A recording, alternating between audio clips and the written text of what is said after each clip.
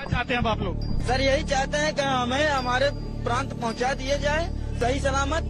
जितने भी सरकार रूल बताएगी, नियम बताएगी, हम लोग फॉलो करेंगे। लेकिन कोई नहीं, सर, वोट लेने के बाद हाथ जोड़ेंगे, विनती करेंगे, मिन्नतें करेंगे, और जब जीत जाएँगे ना तो हम लोगों को जैसे युवाओं पे लाठी चार्ज होगा। डंडे से मारेंगे, और क्या करेंगे? अभी उनकी सरकार है, कुछ भी कर सकते हैं, हम लोग क्या कर सकते हैं? जब वोट देने का टाइम आएगा तो आएँगे, हाथ जोड़ेंगे, मुझे पहचानते नहीं। लेकिन आज मीडिया वालों के ज़रिए वो हम लोगों को नहीं पहचान रहे इसी अंगूठा से जीतते हैं वो लोग। ये अंगूठा दबता है।